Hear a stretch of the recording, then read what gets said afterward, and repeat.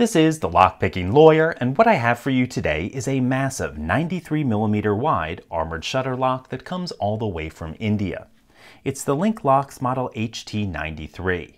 Now, armored shutter locks of this style are usually only made for the Italian market, where they're actually quite popular. In fact, I have locks like this from at least 15 or 20 different brands, all sold only in Italy. They're roughly the same size and style, with an interior brass lock body for weather resistance and an exterior hardened steel shell to protect from brute force attacks like sawing and drilling. But this Indian lock differs from the others I have in at least three different ways.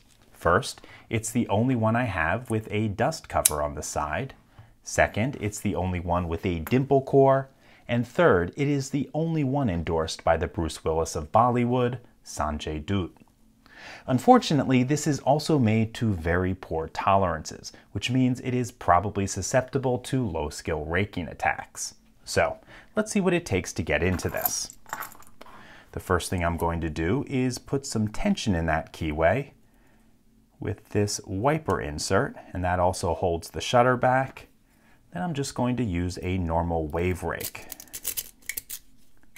And just that quickly, we got it open. So, as you can see, despite the beefy lock body and the exotic looking key, this lock provides a relatively low level of security.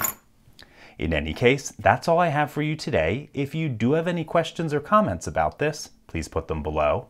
If you like this video and would like to see more like it, please subscribe. And as always, have a nice day. Thank you.